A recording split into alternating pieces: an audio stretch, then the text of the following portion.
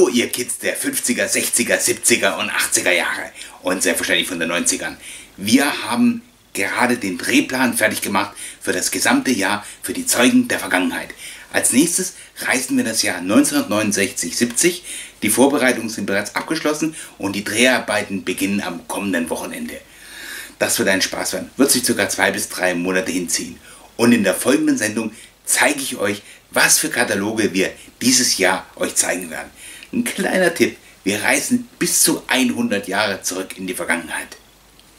Ich übergebe an unsere gute Fee Judith Hildebrand. Judith, wir warten auf Anweisungen. Aktiviere mir den Fluxkompensator. Unsere Judith hat uns jetzt wirklich in die Vergangenheit katapultiert. Der Katalog von 1969-70 wird der nächste sein, den wir in unserer Sendung behandeln werden. Die Dreharbeiten beginnen am Wochenende. Und diese Schätzchen hier werden wir uns auch noch dieses Jahr vornehmen. Der Stuckenbrock Einbeck Katalog von 1926. Und ein weiteres Highlight wird dieser Katalog sein von 1962-63, ebenfalls von Quelle. Und dann geht es in mein Lieblingsjahrzehnt, die 80s. Der Katalog von 1985-1986 mit dem Spielzeugteil. Nach rund zwei Monaten Vorbereitungszeit ist es soweit. Kommendes Wochenende beginnen die Dreharbeiten für Zeugen der Vergangenheit Teil 20. Wir reisen in das Jahr 1969-1970. Über Wochen hinweg sind wir den Katalog Stück für Stück durchgegangen, haben uns Notizen gemacht, was wir verfilmen möchten. Zudem haben wir versucht, jede Menge Material aus der damaligen Zeit zu organisieren. Das ist jedes Mal eine Herausforderung für sich. Oh ja, Leute, es ist wirklich eine Herausforderung, die ganzen Stücke von damals zu organisieren, im guten Zustand und sie euch dann zu präsentieren.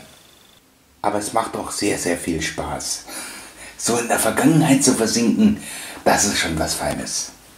Wir werden uns auch in der kommenden Folge sehr viel Mühe geben, um euch die perfekte Zeitreise zu präsentieren.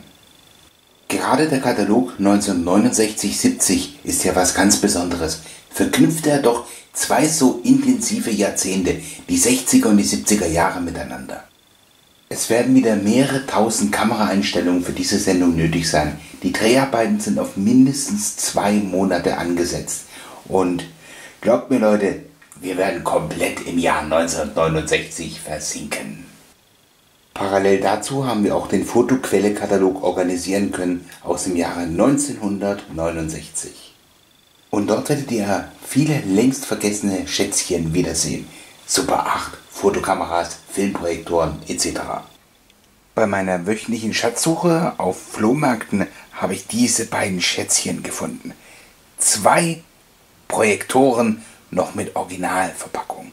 Und eine ähnliche Kamera wie diese wunderschöne 6x6 habe ich schon in meiner Sammlung. Da freue ich mich darauf. Es macht so viel Spaß, mit den alten Sachen rumzuspielen.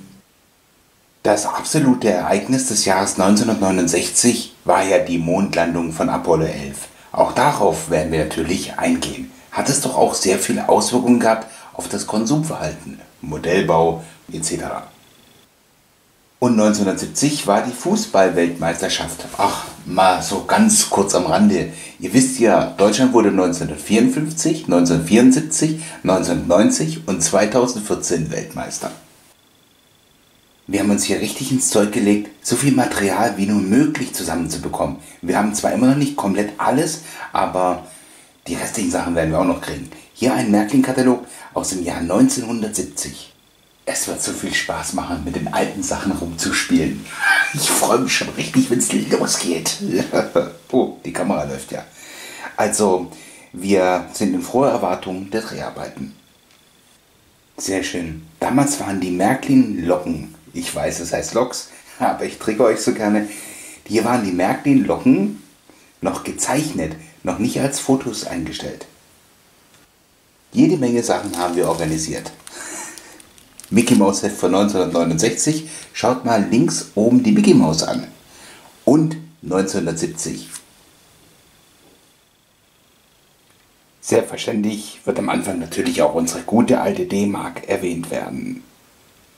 1972 war ja die Olympiade in München und bereits 1969 erschienen die ersten 10 D-Mark Silbermünzen und da gab es eine Münze, die löste einen diplomatischen Eklat aus. Da werden wir ganz genau darauf eingehen. Selbstverständlich erwähnen wir auch den Silberadler und die 5 D-Mark Sondermünzen, neben vielen, vielen anderen Sachen. Ich freue mich schon richtig auf den Beginn der Dreharbeiten. Das wird so ein Riesenspaß werden. Schaut mal, was ich am Wochenende bekommen habe. Eine original verpackte Warta-Lampe um 1969. Leute, das wird ein Spaß werden. Rein ins Jahr 1969.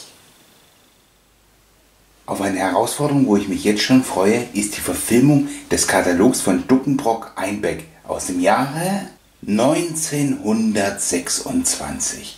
Das wird ein Spaß werden. Rund 100 Jahre alt, sich die Konsumwelt der Weimarer Republik anzuschauen. Vor allem diverses Zubehör für den Straßenverkehr wird für manches Schmunzeln sorgen. Low-Tech-Bohrmaschinen. Ja, die guten Stücke, die funktionieren immer, auch 100 Jahre später noch. Die Hightech-Radios der damaligen Zeit. Sorry Leute, da werde ich definitiv keine auftreiben können, aber ich versuche trotz allem das ein oder andere Stück aus der damaligen Zeit zu bekommen. Für mich als Spielzeugsammler ist natürlich das ein Augenschmaus. Das Spielzeug des Jahres 1926 die ersten Modelleisenbahnen. Teilweise von Märklin und anderen Firmen aus Blech zum Aufziehen. Moment mal. Frisch geölt und restauriert warten Sie auf Ihren Einsatz bei dem Katalog von 1926. Auf den Katalog freue ich mich schon besonders, weil ich weiß, wir werden wunderschöne, interessante Stücke sehen ganz frisch an der Retrobar in der Videothek eingetroffen ist der Quellekatalog von 1962-1963. Auch dieser Katalog, bei dem die Vorbereitungen bereits schon angefangen haben, ich muss noch den Fotoquelle-Katalog organisieren und jede Menge Magazine aus der Zeit, wird uns wieder in die Vergangenheit entführen. Und dadurch, dass es der Weihnachtskatalog ist, das heißt jede Menge Spielzeug. Also Leute, wenn ich die ganzen Sachen hier sehe, was die heute an Sammlerwert haben. Also die 10 Mark 90 würde ich auch bezahlen oder die 6 Mark 90 für den Mercedes Silberpfeil. Ich nehme gleich 10. Guckt euch mal dieses Spielset an. Altes Blechspielzeug. Aber nein, ich kann nicht alles sammeln. Das ist doch mal ein cooles Auto. Oh, aber ich kann leider nicht alles sammeln.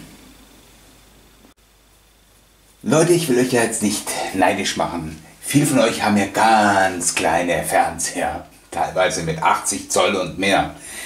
Dieses gute Stück hier hat 69 cm super Großbildröhre und die perfekte Farbe in Schwarz-Weiß für nur 1198 DM, was heute inflationsbereinigt 7000 Euro werden. Ihr werdet wunderschöne Möbelstücke sehen, wo noch richtig schön der Einfluss der 50er Jahre zu sehen ist. Guckt euch mal diesen Fernseher an, auf der linken Seite das Radio. Die Haartrockenhaube. Meine Oma hatte auch so einen Teil.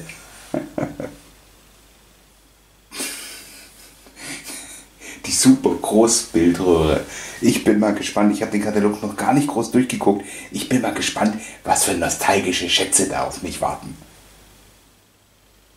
Auf diesen Katalog freue ich mich ganz besonders. Herbst, Winter 1985, 1986. Die 80er Jahre sind ja das aktuelle Jahrzehnt, zumindest auf meinem Kalender. In dem Jahrzehnt bin ich hängen geblieben. Wir reisen in die Zeit zurück von Alf, dem Zauberwürfel, Commodore 64. Das Jahrzehnt, wo das Wort cool erfunden wurde. Oder war das in den 70ern? Nein, nein, das waren wir in den 80ern. Ich selber, Jahrgang 75, freue mich besonders darauf. Das ist das Spielzeug meiner Kindheit. Da freue ich mich richtig drauf, Leute. Das wird ein Spaß werden. Vor allem, weil ich das meiste davon habe. Die legendäre Playmobil Raumstation. Altersgenossen, haltet eure Tränen fest. Die Lego Space Serie. Aber jetzt, bitte Leute, jetzt kommt das Highlight von dem Katalog. Masters of the Universe. Auf zum Planeten Eternia. Und Leute, da habe ich wirklich mehr als genug Material. Aber ich will noch nicht allzu sehr spoilern. Hier haben wir Barbie und Golden Girl. für die Mädels. Nicht für uns Jungs. Wir Jungs spielen nicht mit sowas. Selbstverständlich auch aktuelle technische Träume der damaligen Zeit. Der Videorekorder. Yes!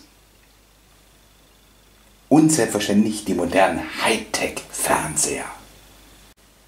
So, das ist jetzt das Ende der Vorschau. 1985, 86, 1926, 1962, 1969. Dieses Jahr haben wir noch einiges vor uns. Da wird Judith noch sehr oft den Fluxkompensator aktivieren. Also, ich hoffe, ich habe euch Lust auf mehr gemacht und ich freue mich, wenn wir uns das nächste Mal sehen, wenn es wieder heißt Fantastic, Toys and Merchandise, Zeugen der Vergangenheit.